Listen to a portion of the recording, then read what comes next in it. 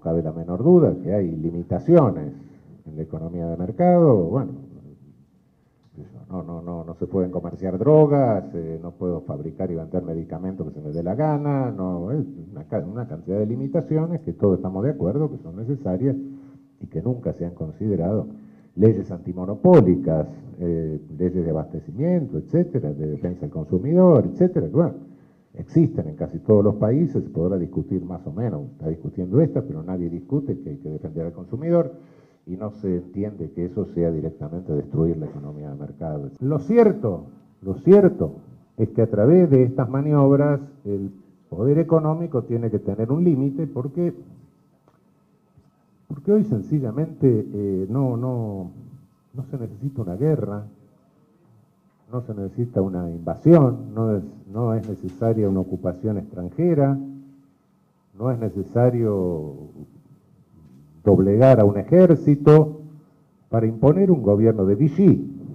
No, basta con que se haga una, una maniobra de esta naturaleza, se desarticule la economía, se infiltre el gobierno con una cantidad de, técnicos ciegos o, funcionales o, eh, o dolosos directamente, y bueno, tenemos un gobierno ocupado, tenemos un país ocupado.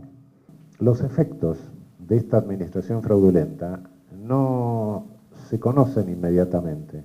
¿Por qué? Por todo esto que decía antes, por el lobby, por los medios masivos, porque se le oculta la opinión pública. Bueno, nos damos cuenta cuando vamos al banco y no nos devuelven los dólares, claro. Pero para eso pasaron años. Este, entonces golpeamos la puerta del banco, hacemos todas esas cosas, pero ya no hay nada que hacerle. Eh, entonces sí, habría, creo que se necesitaría en este caso particular una disposición acerca de la prescripción, del término de prescripción. Hay que establecer otra forma de control. Eso se resuelve en el plano internacional con un procedimiento de quiebra internacional, por así llamar, lo que hoy se llama el default, la situación de pago, todo eso. Bueno, saquémosle todo eso para que la gente lo entienda. Es una quiebra internacional lo que hay que regular y hay que regular el procedimiento de quiebra de una manera razonable, que es la misma manera en que se regula la quiebra comercial, en definitiva. Sustancialmente son las, las mismas reglas.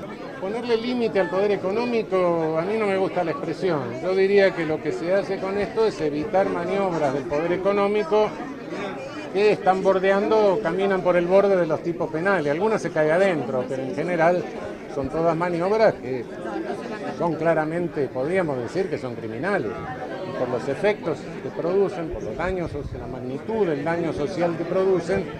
Mire África, mire todo lo que nos ha pasado a nosotros, etcétera. Aquí en el sur del planeta y son equivalentes a crímenes de lesa humanidad, los efectos. Yo creo que a los contribuyentes alemanes o norteamericanos no le hace gracia tener que poner medio millón de millones de dólares o de euros que pueden ser destinados a sus hospitales, a sus carreteras, a su desarrollo económico. Creo que todos los caminos son buenos. En la situación actual, eh, todo camino que abra una posibilidad jurídica es buena.